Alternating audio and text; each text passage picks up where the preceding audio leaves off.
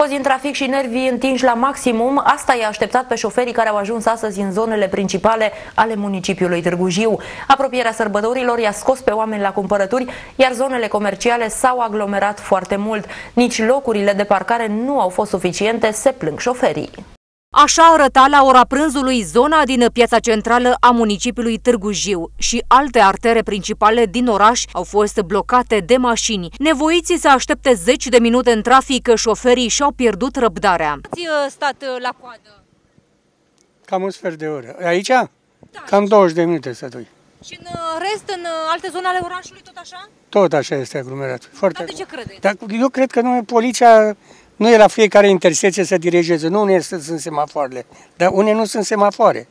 Acolo trebuie un polițai, că sunt o grămadă de polițai care nu se ocupă de așa ceva. Se ocupă numai de amenzi.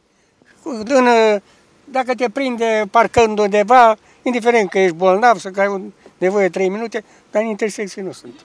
Cât ați așteptat uh, la rând? Păi mai făcut o tură. Că nu puteai să intru din parcare, mă dusei, mă întorsei și reveni înapoi ca să intru a doua oră.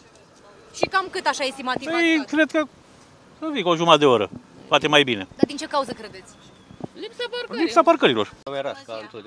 Cât ați așteptat uh, în trafic? Un sfert de oră. Ați găsit locuri de parcare greu?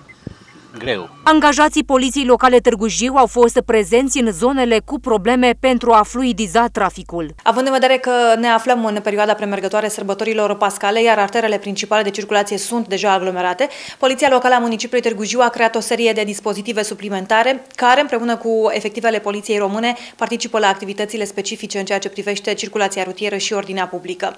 Spre exemplu, în domeniul circulației rutiere, 15 polițiști locali își desfășoară zilnic atribuțiile de serviciu conform legii numărul 155 per 2010 a Poliției Locale în zonele de interes public pentru fluidizarea circulației și prevenirea blocării traficului rutier prin parcarea ori staționarea autovehiculelor în locuri nepermise. Cel mai probabil, săptămâna viitoare, aglomerația va fi și mai mare, dat fiind că urmează Paștele.